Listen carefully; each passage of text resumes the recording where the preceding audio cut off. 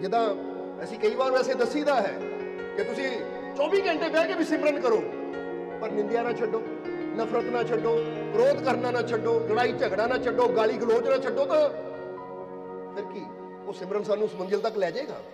ਸੋ ਸਿਮਰਨ ਦੇ ਨਾਲ ਨਾਲ ਕੁਝ ਨਿਯਮ ਵੀ ਆਪਣੇ ਜੀਵਨ 'ਚ ਸਾਨੂੰ ਅਪਣਾਣੇ ਹੁਣ ਇਹਨੂੰ ਇਸ ਤਰ੍ਹਾਂ ਸਮਝ ਲਈਏ ਕਿ ਛੋਟੀ ਜਿਹੀ ਕਹਾਣੀ ਸਾਨੂੰ ਯਾਦ ਆ ਰਹੀ ਹੈ, ਜਿਸ ਤੋਂ ਥੋੜੀ ਜਿਹੀ ਗੱਲ ਈਜ਼ੀ ਹੋ ਜਾਏਗੀ ਸਮਝਣੀ ਕਿ ਇੱਕ ਰਾਜਾ ਸੀ। ਉਹ ਰਾਜੇ ਦੇ ਕੋਈ ਔਲਾਦ ਨਹੀਂ ਸੀ। ਪਰ ਰਾਜਾ ਬਹੁਤ ਨੇਕ ਸੀ, ਬਹੁਤ ਅੱਛਾ ਸੀ। ਔਰ ਉਹਦਾ ਰਾਜਿਆ ਦੂਰ ਦੂਰ ਤੱਕ ਫੈਲਿਆ ਹੋਇਆ ਸੀ। ਜਦੋਂ ਉਹ ਰਾਜਾ ਬਿਰਧ ਹੋ ਗਿਆ, ਉਹਦੀ ਤਕਰੀਬਨ 80 ਸਾਲ ਦੇ ਉੱਪਰ ਉਮਰ ਹੋ ਗਈ ਤਾਂ ਉਹਨੂੰ ਰਾਜੇ ਨੂੰ ਇਹ ਸੀ ਕਿ ਅਗਰ ਮੈਨੂੰ ਕੱਲ ਨੂੰ ਕੁਝ ਹੋ ਜਾਂਦਾ ਹੈ, ਕਿਉਂਕਿ ਮੈਂ ਬਿਰਧ ਹੋ ਚੁੱਕਾ ਹੈ, ਕਿਸੇ ਵੇਲੇ ਵੀ ਇਹ ਜਾਨ ਜਾ ਸਕਦੀ ਹੈ। ਜੇ ਕੱਲ ਨੂੰ ਮੈਨੂੰ ਕੁਝ ਹੋ ਜਾਂਦਾ ਹੈ, ਤਾਂ ਮੇਰੇ ਮਰਨ ਤੋਂ ਬਾਅਦ, ਕਿਉਂਕਿ ਮੇਰਾ ਰਾਜ ਬਹੁਤ ਦੂਰ ਤੱਕ ਫੈਲਿਆ ਹੋਇਆ ਹੈ ਤਾਂ ਮੇਰੇ ਸਿੰਘਾਸਨ ਨੂੰ ਲੈ ਕੇ ਬੜੇ ਝਗੜੇ ਹੋਣਗੇ, ਮੰਤਰੀਆਂ ਵਿੱਚ, ਵਜ਼ੀਰਾਂ ਦੇ ਵਿੱਚ। ਔਰ ਸ਼ਾਇਦ ਮੇਰਾ ਇਹ ਰਾਜਿਆ ਵੰਡਿਆ ਜਾਵੇ। ਕੋਈ ਕਵੇ ਮੈਂ ਇੱਥੇ ਮੇਰਾ ਕਬਜ਼ਾ ਹੋ ਗਿਆ, ਉੱਥੇ ਮੇਰਾ ਕਬਜ਼ਾ ਹੋ ਗਿਆ। ਇਸ ਲਈ ਆਪਣੇ ਮਰਨ ਤੋਂ ਪਹਿਲਾਂ ਮੈਂ ਕਿਸੇ ਨਾ ਕਿਸੇ ਨੂੰ ਸਿੰਘਾਸਨ ਤੇ ਬਿਠਾ ਕੇ ਜਾਣਾ ਹੈ। ਪਰ ਹੁਣ ਬਿਠਾਵਾਂ ਕਿਸ ਨੂੰ? ਕਿਉਂਕਿ ਕੋਈ ਔਲਾਦ ਹੁੰਦੀ ਤਾਂ ਬੰਦਾ ਕਹਿੰਦਾ, ਮੇਰੇ ਤੋਂ ਬਾਅਦ ਇਹ ਬੈਠੇਗਾ। ਔਲਾਦ ਕੋਈ ਹੈ ਨਹੀਂ। ਤਾਂ ਹੁਣ ਫਿਰ ਰਾਜੇ ਨੇ ਮਨ 'ਚ ਸੋਚਿਆ। ਕਿ ਕੋਈ ਨੇਕ ਨੌਜਵਾਨ ਦੇਖਾਂ, ਕੋਈ ਅੱਛਾ ਨੌਜਵਾਨ ਦੇਖਾਂ, ਜਿਹਨੂੰ ਮੈਂ ਆਪਣੇ ਜੀਂਦੇ ਜੀ ਸਿੰਘਾਸਨ ਤੇ ਰਾਜਾ ਬਣ ਕੇ ਬਿਠਾ ਦੇਵਾਂ ਤਾਂ ਕਿ ਝਗੜਾ ਹੀ ਮੁੱਕ ਜਾਵੇ। ਹੁਣ ਕਹਿੰਦੇ, ਉਸ ਰਾਜੇ ਨੇ ਪੂਰੇ ਨਗਰ ਦੇ ਅੰਦਰ ਢਿੰਡੋਰਾ ਪਿਟਵਾਇਆ ਕਿ ਜਿੰਨੇ ਵੀ ਇਸ ਰਾਜ੍य ਦੇ ਅੰਦਰ ਹੋਣਹਾਰ ਨੌਜਵਾਨ ਹੈ, ਪੜ੍ਹੇ ਲਿਖੇ ਨੌਜਵਾਨ ਹੈ, ਸਮਝਦਾਰ ਨੌਜਵਾਨ ਹੈ, ਸਾਰੇ ਮੇਰੇ ਮਹਿਲ 'ਚ ਇਕੱਠੇ ਹੋ ਕਹਿੰਦੇ ਜਦੋਂ ਢਿੰਡੋਰਾ ਪਿਟਵਾਇਆ ਗਿਆ ਤਾਂ ਹਜ਼ਾਰਾਂ ਦੀ ਗਿਣਤੀ 'ਚ ਨੌਜਵਾਨ ਇਕੱਠੇ ਹੋ ਗਏ। ਜਿਹੜੇ ਪੜ੍ਹੇ ਲਿਖੇ ਸੀ, ਸਮਝਦਾਰ ਸੀ, ਸਾਰੇ ਇਕੱਠੇ ਹੋ ਗਏ। ਹੁਣ ਜਦੋਂ ਇਕੱਠੇ ਹੋਏ ਨੌਜਵਾਨ, ਤਾਂ ਬਾ- ਬਾਦਸ਼ਾਹ ਨੇ, ਰਾਜੇ ਨੇ ਦੇਖਿਆ, ਤਾਂ ਰਾਜੇ ਨੇ ਸਾਰੇ ਨੌਜਵਾਨਾਂ ਨੂੰ ਕਿਹਾ ਕਿ ਤੁਹਾਨੂੰ ਇੱਥੇ ਮੈਂ ਮਕਸਦ ਵਾਸਤੇ ਬੁਲਾਇਆ ਹੈ। ਔਰ ਮੇਰਾ ਮਕਸਦ ਇਹ ਹੈ ਕਿ ਤੁਹਾਨੂੰ ਪਤਾ ਮੇਰੇ ਕੋਈ ਔਲਾਦ ਨਹੀਂ ਹੈ, ਔਰ ਮੈਂ ਤੁਹਾਡੇ ਚੋਂ ਕਿਸੇ ਇੱਕ ਨੂੰ ਉੱਤਰ ਅਧਿਕਾਰੀ ਚੁਣਨਾ ਹੈ ਯੁਵਰਾਜ ਚੁਣਨਾ ਹੈ ਪਰ ਇਹ ਯੁਵਰਾਜ ਮੈਂ ਉਹਨੂੰ ਚੁਣਨਾ ਹੈ ਜਿਹੜਾ ਮੇਰਾ ਇੱਕ ਕੰਮ ਕਰੇਗਾ ਹੁਣ ਜਦੋਂ ਨੌਜਵਾਨਾਂ ਨੇ ਸੁਣਿਆ ਇੱਕ ਕੰਮ ਕਰਨ ਨਾਲ ਐਡਾ ਵੱਡਾ ਰਾਜਿਆ ਐਡਾ ਵੱਡਾ ਸਿੰਘਾਸਨ ਸਾਨੂੰ ਮਿਲ ਰਿਹਾ ਹੈ ਤਾਂ ਸਾਰੇ ਖੁਸ਼ੀ ਨਾਲ ਕਹਿਣਗੇ ਮਹਾਰਾਜ ਹੁਕਮ ਕਰੋ ਕੀ ਕਰਨਾ ਹੈ ਤਾਂ ਬਾਦਸ਼ਾਹ ਨੇ ਕਿਹਾ ਕੰਮ ਕੋਈ ਔਖਾ ਨਹੀਂ ਹੈ ਬਸ ਆ ਛੋਟਾ ਜਿਹਾ ਕੰਮ ਹੈ ਉਹ ਕਿਹੜਾ ਕੰਮ ਹੈ ਕਹਿ ਕੇ ਬਾਦਸ਼ਾਹ ਨੇ ਨੇ ਕੋਲ ਇੱਕ ਬੋਰੀ ਰੱਖੀ ਹੋਈ ਸੀ ਉਹ ਬੋਰੀ ਦੇ ਵਿੱਚੋਂ ਮੁੱਠੀ ਭਰੀ ਔਰ ਕਿਹਾ ਕਿ ਦੇਖੋ ਆ ਮੇਰੀ ਮੁੱਠੀ 'ਚ ਕੁਝ ਬੀਜ ਹੈ। ਇਹ ਮੈਂ ਇੱਕ ਇੱਕ ਬੀਜ ਤੁਹਾਨੂੰ ਸਾਰਿਆਂ ਨੂੰ ਦੇਣਾ ਹੈ। ਔਰ ਇੱਕ ਸਾਲ ਦਾ ਵਕਤ ਦੇਣਾ ਹੈ। ਇੱਕ ਸਾਲ ਬਾਅਦ ਜਿਹਦੇ ਗਮਲੇ 'ਚ ਸਭ ਤੋਂ ਸੁੰਦਰ ਪੌਦਾ ਹੋਏਗਾ, ਸਭ ਤੋਂ ਸ਼ਾਨਦਾਰ ਬੜਾ ਪੌਦਾ ਫੁੱਲ ਹੋਏਗਾ। ਕਿਉਂਕਿ ਇਹ ਬੀਜ ਸਾਰਿਆਂ ਨੂੰ ਦੇਣਾ ਹੈ, ਜਿਹੜਾ ਮਿਹਨਤ ਕਰੇਗਾ। ਜਿਹਦਾ ਪੌਦਾ ਸਭ ਤੋਂ ਬੜਾ ਹੋਏਗਾ, ਵਧੀਆ ਹੋਏਗਾ, ਸਭ ਤੋਂ ਸੁੰਦਰ ਫੁੱਲ ਹੋਏਗਾ, ਸਭ ਤੋਂ ਬੜਾ ਫੁੱਲ ਹੋਏਗਾ। ਉਹਨੂੰ ਮੈਂ ਆਪਣੇ ਇਸ ਦੇਸ਼ ਦਾ ਰਾਜਾ ਘੋਸ਼ਿਤ ਕਰਨਾ ਹੈ। ਉਹਨੂੰ ਆਪਣੇ ਸਿੰਘਾਸਨ ਤੇ ਬਿਠਾਣਾ ਹੈ। ਜਦੋਂ ਨੌਜਵਾਨਾਂ ਨੇ ਸੁਣਿਆ ਬਸ ਇੰਨਾ ਕੰਮ। ਕਰਨਾ ਕੀ ਪਏਗਾ? ਇੱਕ ਸਾਲ ਵਾਸਤੇ ਇਸ ਬੀਜ ਦਾ ਧਿਆਨ ਰੱਖਣਾ ਪੈਣਾ ਹੈ। ਗਮਲੇ ਨੂੰ ਟਾਈਮ ਸਿਰ ਪਾਣੀ ਦੇਣਾ ਪੈਣਾ ਹੈ। ਪੌਦੇ ਨੂੰ ਖਾਦ ਦੇਣੀ ਪੈਣੀ ਹੈ। ਪੂਰਾ ਧਿਆਨ ਰੱਖਣਾ ਪੈਣਾ ਹੈ ਤਾਂ ਕਿ ਇਹ ਵੱਧ ਤੋਂ ਵੱਧ ਵੱਧ ਫੁੱਲ ਸਕੇ ਔਰ ਸੁੰਦਰ ਫੁੱਲ ਇਸ ਤੇ ਲੱਗ ਸਕਣ।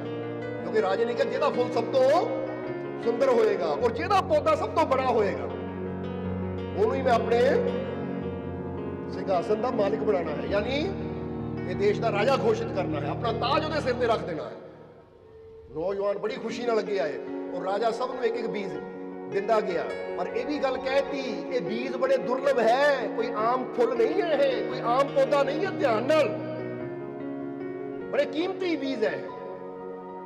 ਹੁਣ ਕਹਿੰਦੇ ਸਾਰਿਆਂ ਨੂੰ ਇੱਕ ਇੱਕ ਬੀਜ ਦੇ ਦਿੱਤਾ। ਸਾਰੇ ਨੌਜਵਾਨ ਚਲੇ ਗਏ। ਸਾਰੇ ਨੌਜਵਾਨ ਜਦੋਂ ਚਲੇ ਗਏ ਬੀਜ ਲੈ ਕੇ, ਵਕਤ ਗੁਜ਼ਰਨ ਲੱਗਾ। ਕਿਉਂਕਿ ਰਾਜੇ ਨੇ ਇੱਕ ਸਾਲ ਦਾ ਟਾਈਮ ਦਿੱਤਾ ਕਿ ਅਗਲੇ ਸਾਲ ਇਸੇ ਦਿਨ, ਇਸੇ ਮੈਦਾਨ 'ਚ ਆਪਣੇ ਆਪਣੇ ਗਮਲੇ ਲੈ ਕੇ ਤੁਸੀਂ ਆ ਜਾਣਾ ਹੈ। ਔਰ ਜਿਹਦਾ ਗਮਲਾ ਸਭ ਤੋਂ ਸੁੰਦਰ ਹੋਏਗਾ, ਯਾਨੀ ਜਿਹਦਾ ਪੌਦਾ ਸੁੰਦਰ, ਉਹ ਰਾਜਾ। ਉਹ ਸਾਰੇ ਨੌਜਵਾਨ ਚਲੇ ਗਏ। ਆਖਰ ਸਾਲ ਗੁਜ਼ਰਿਆ, ਸਾਲ ਬਾਅਦ ਦੇਖਿਆ ਕਿ ਨੌਜਵਾਨਾਂ ਦੇ ਹੱਥਾਂ 'ਚ ਗਮਲੇ ਹੈ ਪਰ ਦੇਖ ਕੇ ਇੱਕ ਦੂਜੇ ਨੂੰ ਹੈਰਾਨ ਹੈ। ਕਿਸੇ ਦੇ ਗਮਲੇ 'ਚ ਕੋਈ ਪੌਦਾ ਹੈ, ਕਿਸੇ ਦੇ ਗਮਲੇ 'ਚ ਕੋਈ ਪੌਦਾ ਹੈ। ਸਮਝ ਨਾ ਜ਼ਰਾ ਸਾਰਿਆਂ ਨੂੰ। ਹੁਣ ਸਮਝ ਲਓ ਕਿਸੇ ਦੇ ਗਮਲੇ 'ਚ ਗੁਲਾਬ ਦਾ ਪੌਦਾ ਹੈ, ਕਿਸੇ ਦੇ ਗਮਲੇ 'ਚ ਕੋਈ ਹੋਰ ਕਿਸਮ ਦਾ ਪੌਦਾ ਹੈ।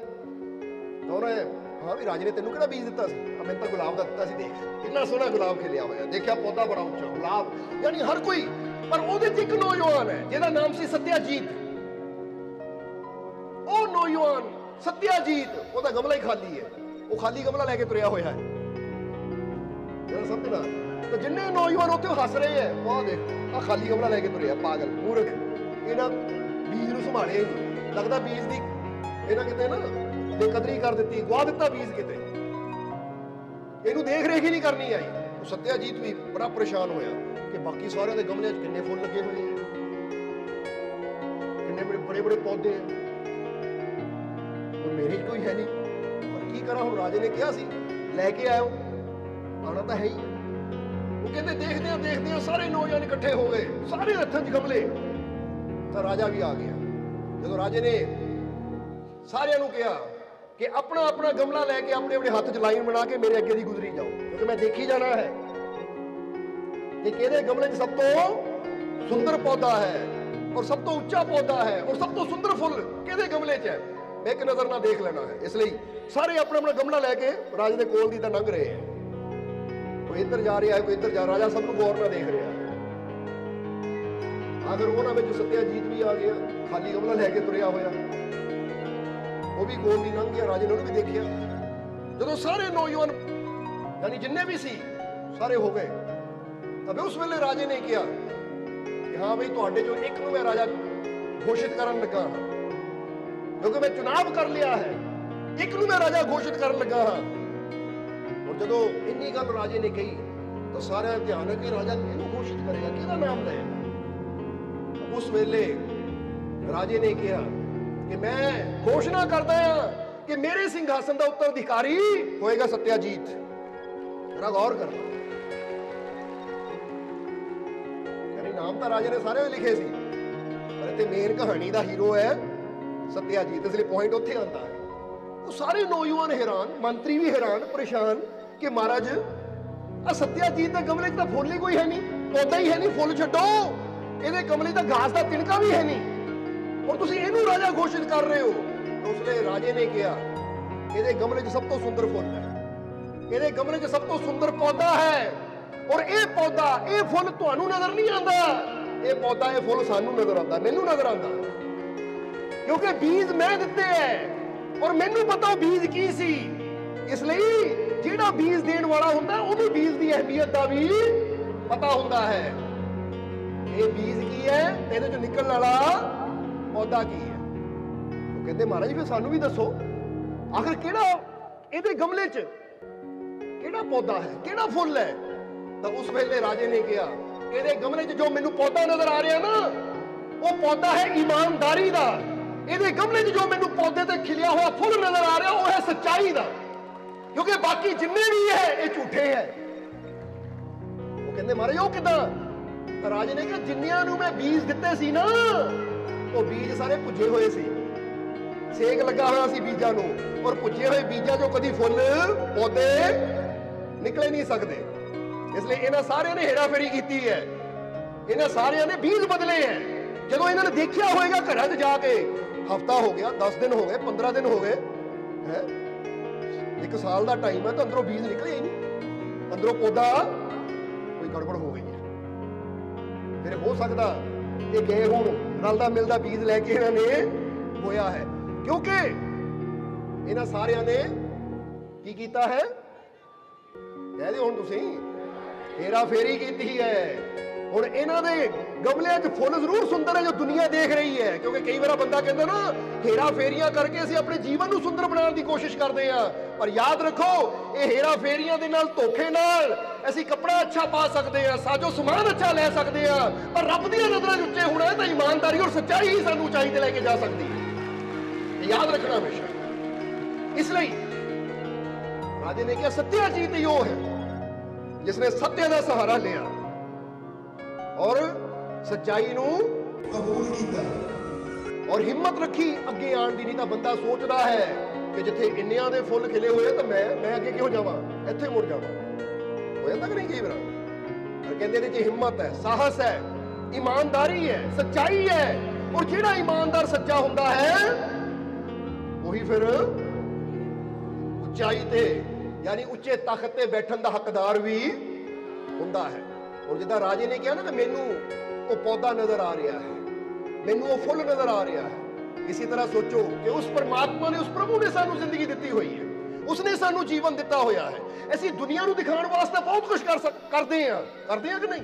ਕੱਪੜਾ ਵੀ ਪਾਉਂਦੇ ਤਾਂ ਦੁਨੀਆ ਨੂੰ ਦਿਖਾਉਣ ਨੂੰ। ਕਿ ਦੇਖੀ ਜਰਾ ਕਿਦਾਂ ਦਾ ਲੱਗਦਾ ਹੈ। ਇਸ ਤੇ ਕਈ ਵਾਰ ਦੱਸੀਦਾ ਹੈ ਕਿ ਬੰਦਾ ਘਰ ਨੂੰ ਰੰਗ ਵੀ ਕਰਾਉਂਦਾ, ਦੁਨੀਆ ਦੇਖੇ ਇਦਾਂ ਦਾ ਰੰਗ ਕਰਦੇ। ਇਦਾਂ ਦਾ ਡਿਜ਼ਾਈਨ ਬਣਾਉਂਦੇ ਜਿੱਦਾਂ ਦਾ ਕਿਸੇ ਕੋਲ, ਕਿਸੇ ਦਾ ਹੋਵੇ ਹੀ ਨਾ। ਅੱਜ ਬੰਦਾ ਬੂਟ ਵੀ ਪਾਉਂਦਾ ਹੈ ਤਾਂ ਦੂਜੇ ਨੂੰ ਕੱਪੜਾ ਵੀ ਪਾਉਂਦਾ ਦੂਜੇ ਨੂੰ। ਔਰ ਇੱਥੇ ਤੱਕ ਤਾਂ ਅਸੀਂ ਹੈਰਾਨ ਹੁੰਦੇ ਆ ਕਿ ਅੱਜ ਬੰਦਾ ਖਾਣਾ ਵੀ ਖਾਂਦਾ ਹੈ ਨਾ। ਪਹਿਲਾਂ ਪਿਕ ਲੈਂਦਾ ਹੈ, ਫੋਟੋ ਲੈਂਦਾ ਹੈ, ਉਹਨੂੰ ਸੈਂਡ ਕਰਦਾ, ਫਿਰ ਖਾਣਾ ਖਾਂਦਾ ਕਿ ਖਾਣਾ ਵੀ ਅੱਜ ਦੂਜਿਆਂ ਨੂੰ ਦਿਖਾਉਣਾ। ਦੇਖ ਮੈਂ ਇੱਥੇ ਖਾ ਰਿਹਾ। ਆਪਾਂ ਦੇਖਿਆ? ਖਾਣੇ ਦੀ ਥਾਲੀ ਦੀ ਫੋਟੋ ਖਿੱਚ ਕੇ ਪਹਿਲਾਂ ਦੋਸਤਾਂ ਨੂੰ ਭੇਜਣਗੇ। ਅੱਜ ਦੇਖ ਲੈ ਮੈਂ ਕਿਹੜੇ ਰੈਸਟੋਰੈਂਟ 'ਚ ਬੈਠਾ ਜੇ ਪੀਜ਼ਾ ਖਾ ਰਿਹਾ 버ਗਰ ਖਾ ਰਿਹਾ। ਚੋਲਾਂ ਨਾਲ ਰੋਟੀ ਖਾ ਰਿਹਾ, ਕਾਹਦੇ ਰੋਟੀ ਖਾ ਰਿਹਾ? ਹੈਰਾਨੀ ਹੁੰਦੀ ਹੈ, ਕਿੱਥੇ ਕਿੱਥੇ ਫੋਟੋ ਭੇਜ ਦਿੰਦੇ ਆ। ਸਮਝਦੇ ਹੋ ਕਿ ਨਹੀਂ ਸੋ ਅੱਜ ਜੋ ਬੰਦਾ ਕਰ ਰਿਹਾ ਹੈ, ਦੁਨੀਆ ਨੂੰ ਦਿਖਾਉਣ ਵਾਸਤੇ ਕਰ ਰਿਹਾ ਹੈ। ਤਾਂ ਫਿਰ ਇੱਥੇ ਖਮਾਂਗੇ ਕਿ ਕਦੀ ਥੋੜਾ ਉਹ ਵੀ ਕਰਮ ਕਰ ਲਿਆ ਕਰੋ ਕਿ ਦੁਨੀਆ ਨੂੰ ਦਿਖਾਉਣ ਵਿੱਚ ਹੀ ਜੀਂਦੇ ਰਹਿ ਜਾਂਦੇ ਆ। ਯਾਨੀ ਦੁਨੀਆ ਨੂੰ ਖੁਸ਼ ਕਰਨ ਦੇ ਪਿੱਛੇ ਲੱਗੇ ਰਹਿੰਦੇ ਆ। ਕਦੀ ਉਹ ਵੀ ਕਰਮ ਕਰਿਆ ਕਰੋ ਜਿੱਥੇ ਸਾਡਾ ਰੱਬ ਵੀ ਖੁਸ਼ ਹੋਵੇ। ਕਿਉਂਕਿ ਉਸ ਪਰਮਾਤਮਾ ਨੇ ਸਾਨੂੰ ਜ਼ਿੰਦਗੀ ਦਿੱਤੀ, ਉਸ ਪਰਮਾਤਮਾ ਨੇ ਸਾਨੂੰ ਜੀਵਨ ਦਿੱਤਾ ਹੈ। ਜਦੋਂ ਅਸੀਂ ਆਪਣੇ ਜੀਵਨ ਨੂੰ ਐਸਾ ਬਣਾਵਾਂਗੇ, ਆਪਣੇ ਜੀਵਨ 'ਚ ਉਹ ਫੁੱਲ ਖਿਲਾਵਾਂਗੇ ਜਿਨ੍ਹਾਂ ਨੂੰ ਰੱਬ ਦੇਖੇ, ਤਾਂ ਫਿਰ ਉੱਚੀ ਪਦਵੀ ਵੀ ਉਹਨੇ ਦੇਣੀ ਹੈ ਸਾਨੂੰ।